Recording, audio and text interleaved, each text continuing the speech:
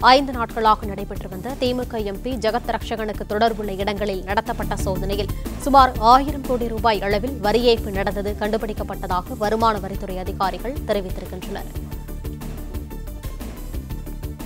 ஜெகத் ரக்ஷகனின் குடும்பத்தினரிடமிருந்து கணக்கில் வராத பதினைந்து கிலோ தங்க நகைகளும் பறிமுதல் செய்யப்பட்டிருக்கிறது.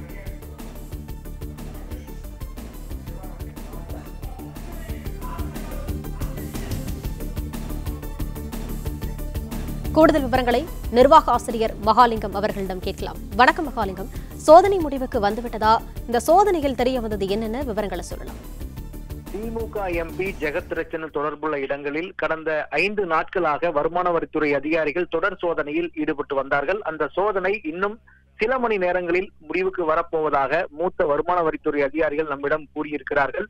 இதுவரைக்கும் நடத்தப்பட்ட சோதனையில் சுமார் ஆயிரம் கோடி ரூபாய் அளவுக்கு வரி ஏய்ப்பு நடந்துள்ளது கண்டுபிடிக்கப்பட்டிருப்பதாகவும் அதற்கான ஆதாரங்களை இந்த சோதனையின் போது திரட்டியுள்ளதாகவும் வருமான வரித்துறை அதிகாரிகள் கூறியிருக்கிறார்கள்.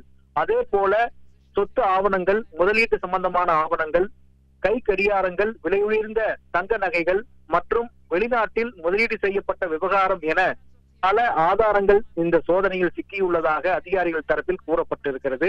ஜெகத் ரட்சன் குடும்பத்தினரிடமிருந்து கணக்கில் வராத பதினைந்து கிலோ தங்க நகைகளும் சிக்கியுள்ளதாகவும் வருமான வரித்துறை தரப்பில் விளக்கம் அளிக்கப்பட்டிருக்கிறது.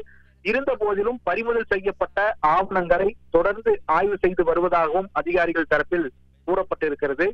இது மட்டுமல்லாமல் இன்னொரு பக்கம் கவிதா குழுமம் தொடர்புடைய இடங்களிலும் ஐந்து நாட்களாக வருமான வரித்துறை அதிகாரிகள் கல்லடை போட்டு சோதனையில் ஈடுபட்டார்கள். அந்த சோதனையில் கிடைத்த ஆவண- ஆவணங்களின்படி இருநூற்றி ஐம்பது கோடி ரூபாய் அளவிற்கு வரி ஏய்ப்பு நடந்துள்ளதை கண்டுபிடித்திருப்பதாக வருமான வரித்துறை அதிகாரிகள் தகவல் கூறியிருக்கிறார்கள்.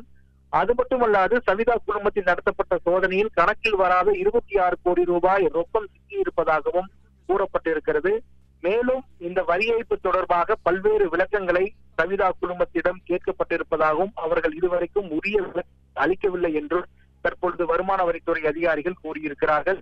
இந்த சோதனையை அடுத்து மீண்டும் சவிதா குழுமம் மற்றும் ஜெகத் ரட்சகன் தொடர்புடைய நபர்களுக்கு சம்மன் அளித்து விசாரணை மீண்டும் தொடரும் எனவும் வருமான வரித்துறை தரப்பில் கூறப்பட்டிருக்கிறது.